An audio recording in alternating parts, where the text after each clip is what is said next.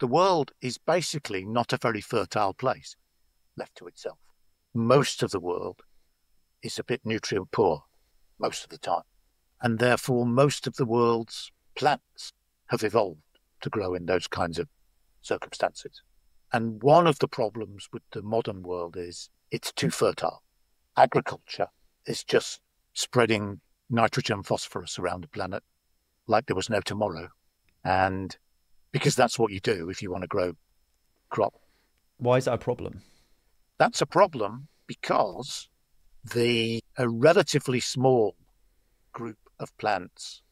This is a major conservation problem in Britain, in particular, not just every, not just everywhere, but you can see it on the ground in Britain.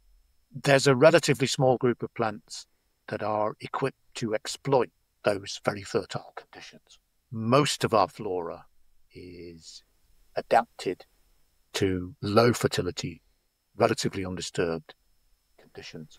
So, agriculture, lots of disturbance, lots of nitrogen, lots of phosphorus is very bad for the great majority of flowering plants.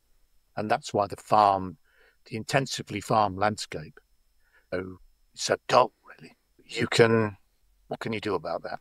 Difficult, really. You do, if you have a small country with lots of people and you don't want to import all your food, which would only be exporting the problem anyway. Yeah.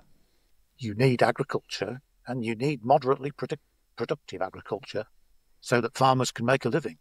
Now, there is a little bit of a trend towards not just achieving productivity by shoveling on yet more nitrogen and phosphorus onto the land. Because what farmers are beginning to notice is that eventually doesn't work very